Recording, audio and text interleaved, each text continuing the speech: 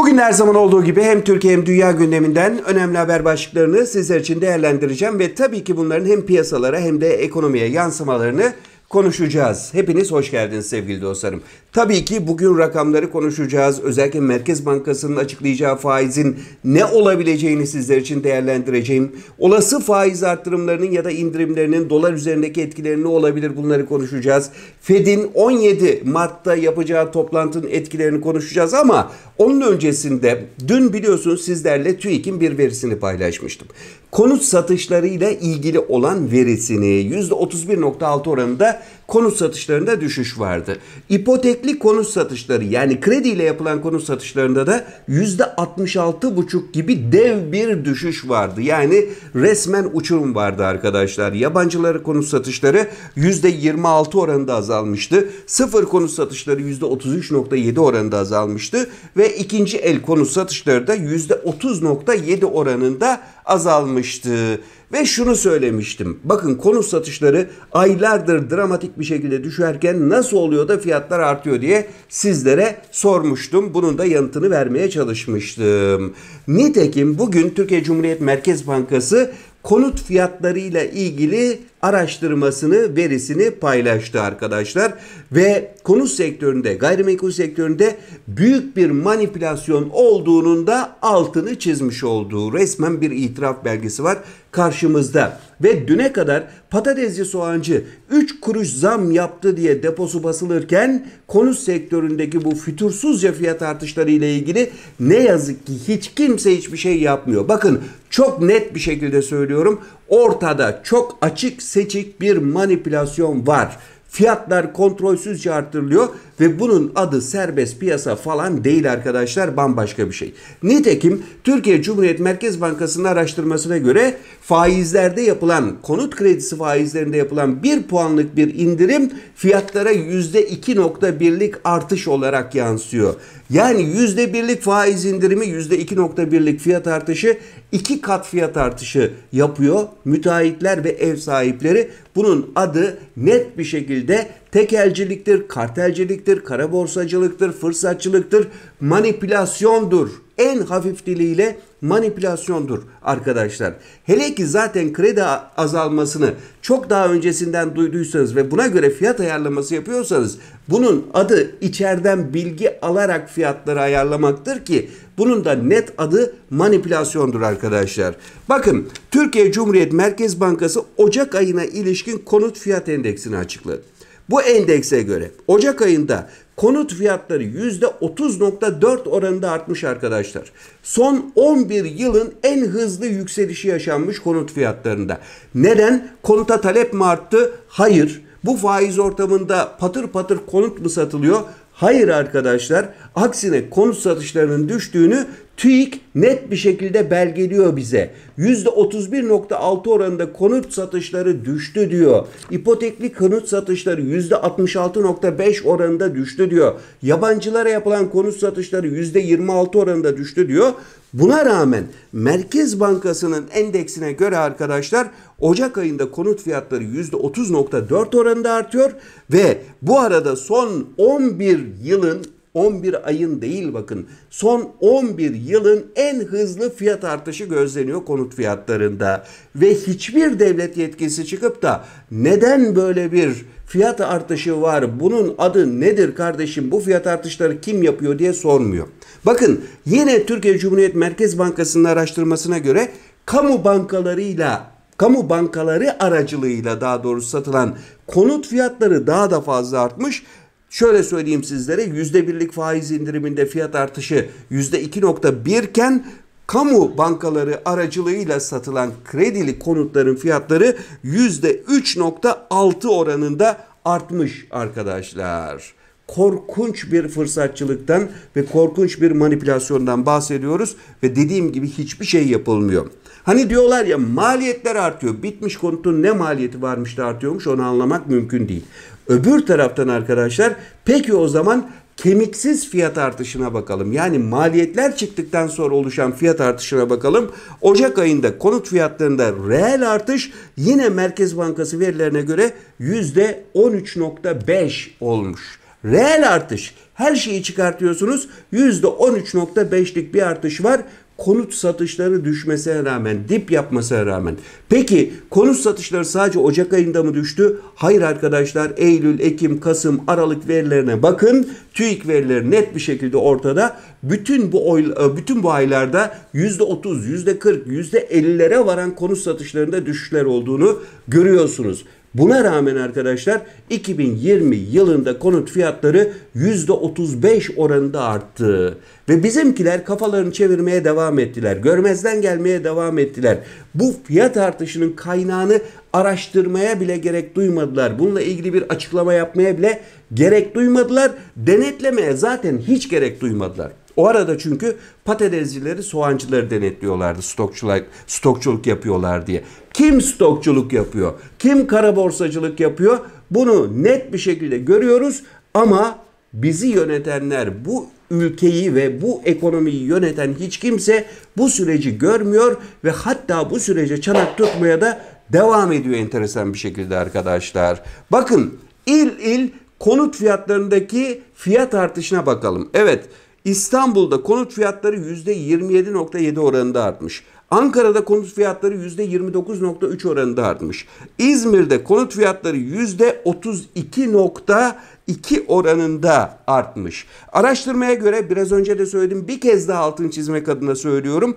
Kamu bankalarının 2020 yazında konut kredisi faiz oranlarını ani olarak düşürmesi dışsal bir şok olarak görülmüş. Dışsal bir şok olur mu? Bunun adı çok net bir şekilde manipülasyondur. Bunun adı çok net bir şekilde fırsatçılıktır. Yine kamu bankalarının düşük faizli kredileriyle satın alınan evlerin market fiyatı yani artış fiyatına baktığımız zaman özel bankalara göre çok daha yüksek olduğunu görüyoruz. %3.22'lik bir fiyat artışı olmuş. Şimdi bunun altında ne aramamız gerekiyor? Acaba müteahhitler fiyatları şişirip kendi aralarında fiktif satışlar yapıp kamu bankalarından krediyi kendileri mi aldılar ucuza kapattılar? Onun için mi fiyatları aşırı yükselttiler? Bu da ayrı bir soru işareti olarak kapıda duruyor. Bakın yarın öbür gün kamu bankalarındaki konut kredilerinin hızla battığını görürsek bu dediğimin ne kadar önemli olduğunu bir kez daha göreceksiniz arkadaşlar. Dolayısıyla bakın bir taraftan düşük faizli kredi verdiği için kamu bankaları zarar etti ve onların görev zararları bütçeye yansıdı ve o bütçe açıklarını biz vergilerimizle konut almasak da ödemek zorunda kaldık. Öbür taraftan arkadaşlar konut sektöründe korkunç bir balon oluşturuldu. Fiyat balonu oluşturuldu. Orta gelirlerin herhangi bir konuta yaklaşması imkansız hale geldi. Ve Aynı zamanda bu kredi musluklarının açılması nedeniyle fiyat dengesizlikleri oluştu ve enflasyon patladı. Bakın Türkiye ekonomisini darmadağın eden bu süreçle ilgili hiçbir denetim mekanizmasının uygulanmamasını anlamak mümkün değil arkadaşlar ve bu fiyat artışları ile ilgili herhangi bir açıklama gelmemesini de anlamak mümkün değil. Oysa dünyanın her yerinde bilinir ki eğer ki arz fazlaysa, talep azsa, havuzlarda, stoklarda sürekli olarak bir mal birikiyorsa ve hiçbir şekilde o mala talep gelmiyorsa normal koşullarda o malın fiyatının düşmesi gerekir. Yani %35'lik, %30'luk fiyat artışı değil aslında %35'lik, %30'luk fiyat düşüşleri olması gerekirdi piyasada ama tam tersi bir tablo var. Tekrar soruyorum sizlere arkadaşlar. Bu manipülasyon değildir de nedir ve devlet yetkilileri neden bunu bir suç duyurusu olarak görmüyorlar? Hadi benim söylediğimi bırakın. Bu Merkez Bankası'nın açıklamasını bir suç duyurusu olarak görmüyorlar. Merkez Bankası çok net bir şekilde ortada bir manipülasyon olduğunu itiraf ediyor. Evet satışlar dip yapıyor TÜİK verilerine göre, Merkez Bankası verilerine göre fiyatlar tavan yapıyor. Ve bu koşullar içerisinde bir Allah'ın kulu çıkıp bu süreçte ilgili bir denetim mekanizması çalıştırmıyor anlaşılır gibi değil arkadaşlar. Türkiye Cumhuriyet Merkez Bankası'nın bir başka açıklaması da bugün özel sektörün borcuyla ilgiliydi arkadaşlar. Hem uzun vadeli hem kısa vadeli borçlarında bir düşüş gözleniyor. Çok yüksek bir düşüş değil ama var. 18 milyon dolar uzun vadeli borçlarda bir düşüş olmuş. 49 milyon dolar da kısa vadeli borçlarda bir düşüş olmuş. Şimdi bunu ilk duyduğunuzda aa ne güzel özel sektörün borcu düşüyor diye algılayabilirsiniz. Ama bunun iki temel nedeni var aslında. Birincisi Özel sektör artık yabancı para birimleriyle borçlanmaktan korkuyor. Her an devalüasyonist bir etkiyle karşı karşıya kalırım ve çok ciddi döviz açıkları nedeniyle çok büyük zararlar elde edebilirim. Hatta batabilirim diye uzaklaşıyorlar borçtan. İkinci temel nedeni daha da önemli olan temel nedeni ise yabancıların artık çok maliyetli bir şekilde kamuya ve özel sektöre borç veriyor olması. Bu nedenle de borç alamıyor, borç bulamıyor olmamız arkadaşlar. Her iki temel neden de Türkiye ekonomisinin ne kadar ciddi bir bozulma içerisinde olduğunu bize gösteriyor. Ama bizde konut fiyatları artmaya devam ediyor. Yine garip bir haberi sizlerle paylaşacağım. Sonra rakamlara geçebiliriz arkadaşlar. Bankalar arası kart merkezi var biliyorsunuz BKM. Onun verilerine göre kredi kartlarıyla, banka kartlarıyla alışveriş %21 oranında artmış. Yani insanların elinde para olmadığı için kredi kartlarına yüklenmeye devam etmişler. Geçen seneye göre %21 oranında artış var. Peki daha da dramatik, daha da enteresan bir şey paylaşayım sizlerle. En fazla ödeme nereye yapılmış biliyor musunuz kredi kartlarıyla? Dikkatle dinleyin arkadaşlar. En fazla ödeme vergi ödemelerine, ceza ödemelerine yapılmış. Evet, en fazla ödemeyi kredi kartıyla vergi ve cezaya yapmışız arkadaşlar.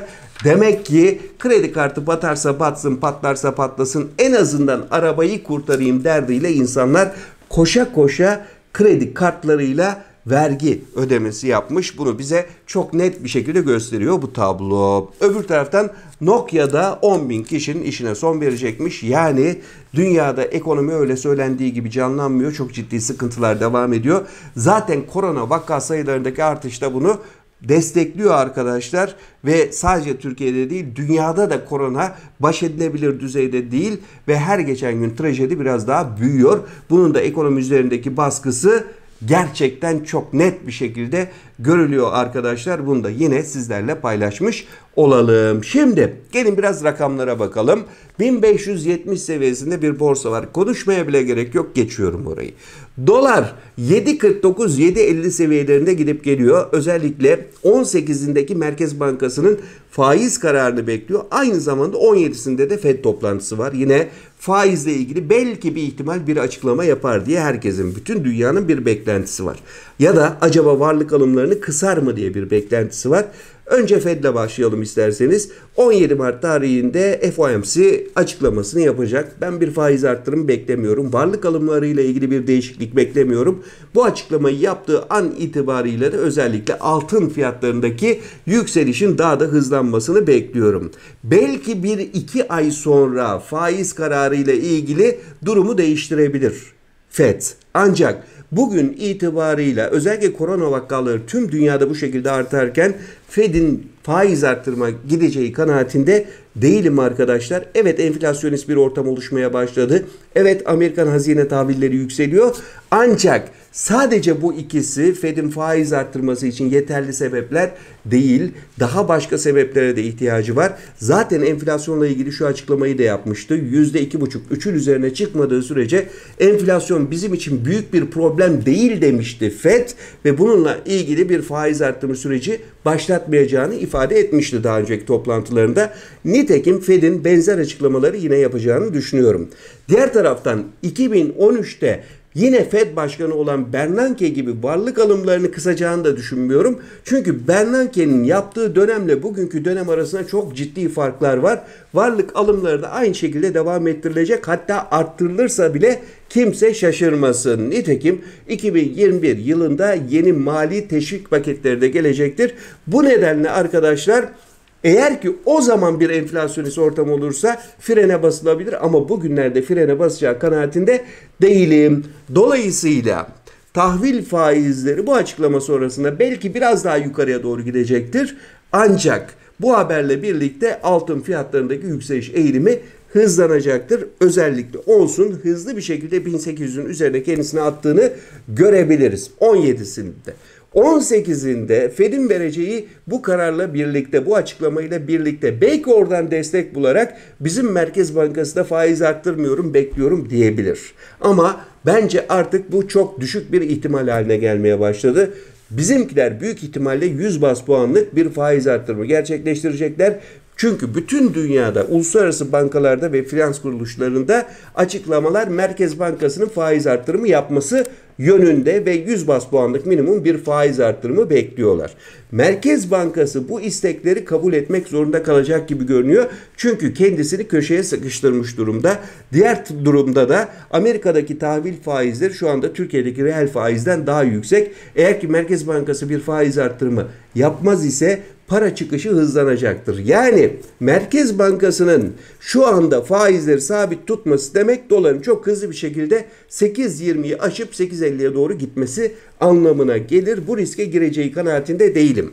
Peki 100 bas puanlık bir faiz arttırırsa ne olur sorusunun cevabı da gayet basit arkadaşlar. 7.90-95 aralığına sıkışan kısa süreliğine sıkışan bir dolar kuru görürüz. Öbür taraftan Amerika'daki hazine tahvillerinin yükselme eğilimi devam ettikçe de Türkiye ve gelişmekte olan diğer ülkelerde para yukarıya doğru gitmeye devam eder. Dolar yukarıya doğru gitmeye devam eder ve 8.10-8.20'ye doğru yolculuğu başlar. Yeni bir faiz arttırımı yaparsa oralarda sabitler. Sonrasında tekrar yukarıya doğru gider. Ama faiz arttırımı yapmadığı gün itibariyle dolardaki kırılmaları görmeye başlarız arkadaşlar. Onun için bana göre 18 Mart'ta Merkez Bankası'nın açıklayacağı faiz kararı FOMC'den, Fed'den daha önemli olacak gibi görünüyor en azından bizim açımızdan. Ben her koşulda doların yükseliş eğiliminin devam edeceği kanaatindeyim. Buradaki mesele faiz arttırımıyla bu yükselişi yavaşlatacaklar mı, yavaşlatmayacaklar mı? Ona bakacağız. Faiz artışı yapmazlarsa, sabit tutarlarsa dolar dediğim gibi 8.20'yi kırar, 8.50'yi denemeye başlar. Öbür taraftan Merkez Bankası'nın yeni faiz arttırımları yapması reel sektörü daha da sıkıntıya sokar arkadaşlar. Aynı zamanda biliyorsunuz kısa çalışma ödeneği de uzatılmayacak. Sayın Cumhurbaşkanı'nın açıklaması o. 31 Mart'ta bu sürecin de durdurulması ile birlikte bir tarafta yüksek hatta kitlesel işsizlikle karşı karşıya kalırız. Öbür tarafta yüksek faiz ortamı ve kontrolden çıkmış bir enflasyonla karşı karşıya kalır Türkiye. Dolayısıyla arkadaşlar yüksek faizinde bir işe yaramadığını görürüz. Yani Türkiye açık ve net bir şekilde ekonomik buhrana sürüklendi ve bu göz göre göre oldu. İşin kötü tarafı bu. Şimdi hem Fed'in hem de Merkez Bankası'nın kararı elbette doları ve altını etkileyecek arkadaşlar. Ancak dediğim gibi Fed'den ben sürpriz bir karar beklemiyorum. Yine Merkez Bankası'ndan da sürpriz bir karar beklemiyorum.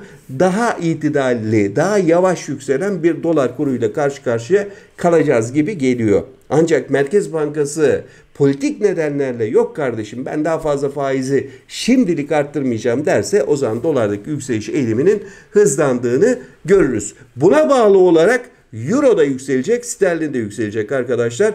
Yine 18 Mart bizim için çok önemli olacak. Euro dolar paritesi 1.19 aşağıya doğru zorluyor. 1.19 kırıldığında 1.18 bir kez daha denenecektir. 1.18 kritik. Aşağıya doğru kırılırsa önce 1.15 sonrasında 1.08'e gideriz.